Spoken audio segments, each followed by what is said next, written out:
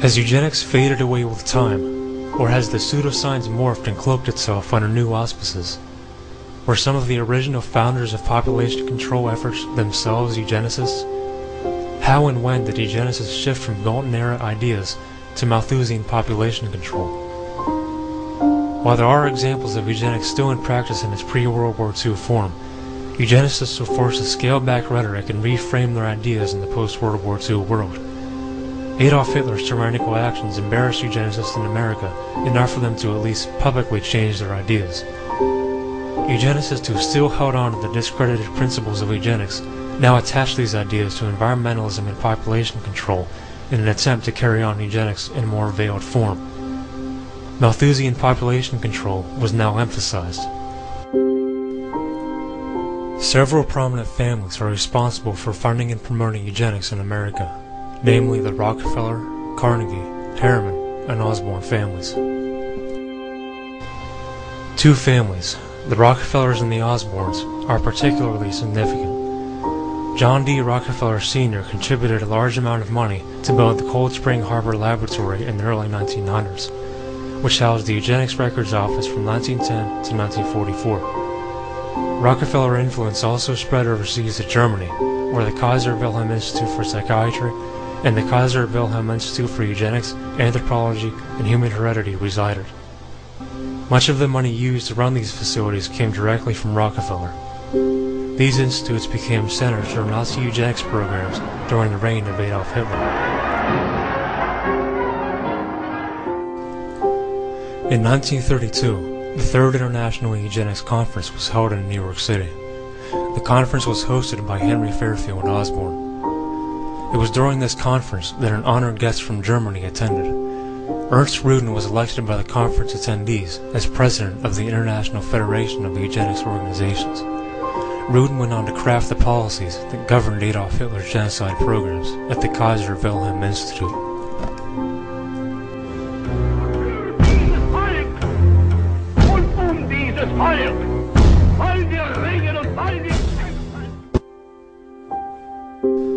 Frederick Henry Osborn, the cousin of Henry Fairfield Osborn, praised the Nazis' eugenics programs as a vital experiment. Osborn wrote in 1937, The German sterilization program is apparently an excellent one, although it is generally doubted whether equal or better results might not have been obtained by a voluntary rather than compulsory system. Taken altogether, recent developments in Germany constitute perhaps the most important experiment which has ever been tried. The influence of the Rockefeller family continued in 1945 when John D. Rockefeller Jr. donated the land upon which the United Nations stands in New York City. With the founding of the United Nations, the Rockefeller family heralded a new beginning for eugenics under the guise of population control. New York City Mayor Rudolph Giuliani introduced the attending audience at a 1994 Business Council for the United Nations to a short documentary regarding Rockefeller's influence in the founding of the UN to appreciate, preserve, and strengthen the achievements of the United Nations, to examine new challenges which require creative action, and most importantly, to chart a course for the future. In doing this, it is appropriate to reflect and to draw strengths from the early history of the United Nations. The Rockefeller family embodied the idealism of those years. John D. Rockefeller Jr.'s early backing of the League of Nations in the 1920s demonstrated the Rockefeller family's commitment to international peaceful cooperation. Grants promoting investigations into the narcotics trade and the traffic in women and children, and his endowment of a League of Nations library were evidence of his moral and financial support.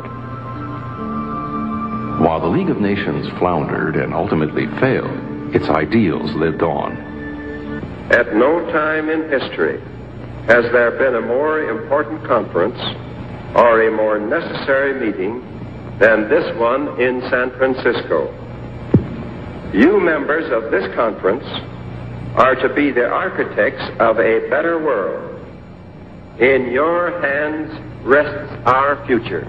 Out of the chaos of World War II had come a global brotherhood that carried within its legislative structure the seeds of world peace for the generations to come.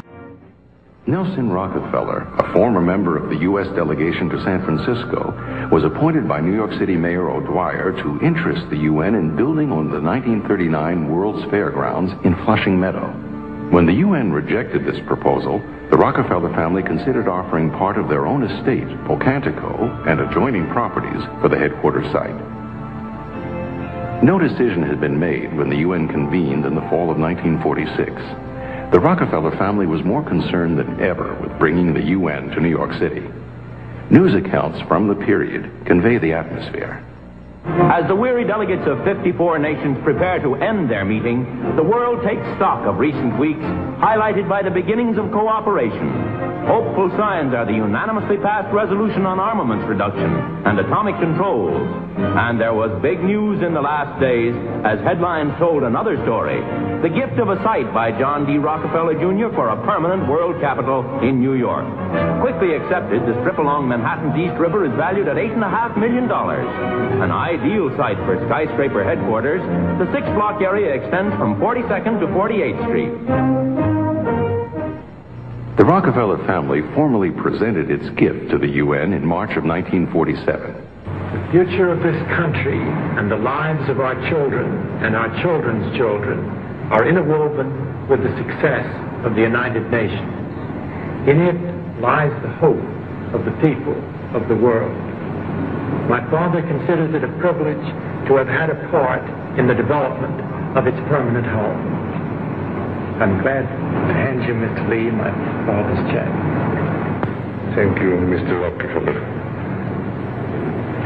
Mr. Rockefeller, Mayor Dwyer, the United Nations extends its sincere thanks to you and to your father for this magnificent uh, gift.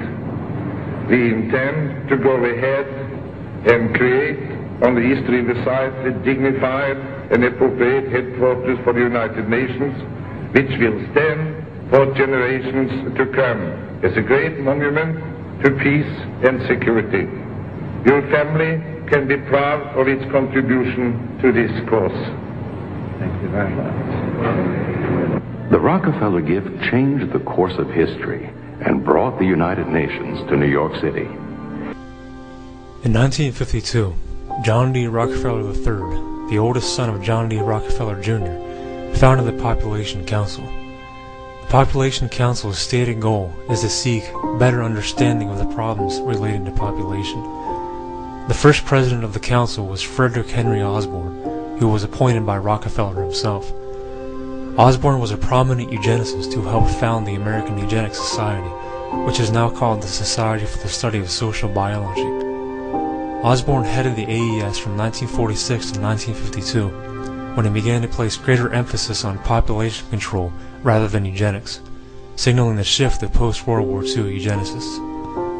Osborn wrote in his 1968 book, The Future of Human Heredity, that eugenic goals are most likely to be attained under another name than eugenics. Before we examine recent examples of population reduction and control being carried out, there are other individuals who played an important role in this shift from eugenics to population control. Frederick Henry Osborn's nephew, Henry Fairfield Osborn, carried on the banner of population control. His 1948 book, Our Plundered Planet, covers many of the issues that environmentalists are concerned with today. Osborne states in the book that overpopulation will destroy the planet and that drastic measures must be taken to curtail population growth. He takes a moment to reflect on the savage nature of his outline proposal, but states that it will have to be done. He writes, Of course, as we all know, these are momentous days and many things can happen to check population growth, even including the devastating use of atomic bombs in a new war. It is difficult to adjust one's mind to the possibility that the present negotiations between nations could fail to prevent such a savage denial to the right to human existence, and that the problem of the pressure of increasing populations perhaps the greatest problem facing humanity today, cannot be solved in a way that is consistent with humanity.